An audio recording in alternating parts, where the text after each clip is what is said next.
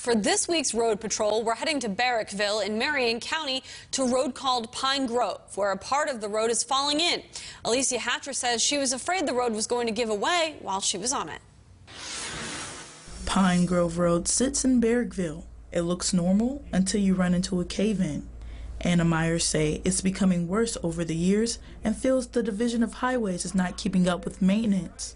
They patched holes here and there, but they never really fixed the problem. Residents say the last time the DOH was out here was to place these warning signs when the road began to fall in two years ago. People who live in Barrackville Coal Camp use this road as a shortcut to get to Mannington and Farmington. It takes about maybe 10 minutes or so to get into Farmington, um, probably 15, 20 minutes to get to Mannington.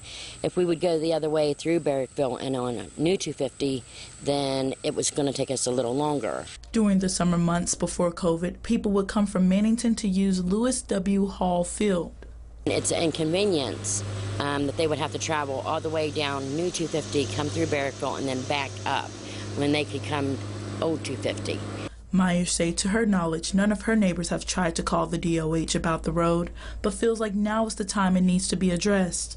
People do a lot of walking. We have people who push their babies in the stroller. They go that way, and it's it's very dangerous um, for the people here in our community. Myers expressed she thinks people should not drive on this road until they're able to get it fixed. You never know when it's going to give way. I just want them to fix our road. For 12 News, in Barrackville, I'm Alicia Hatcher. And if you have a road for us to check out, you can go to our website, WBOY.com.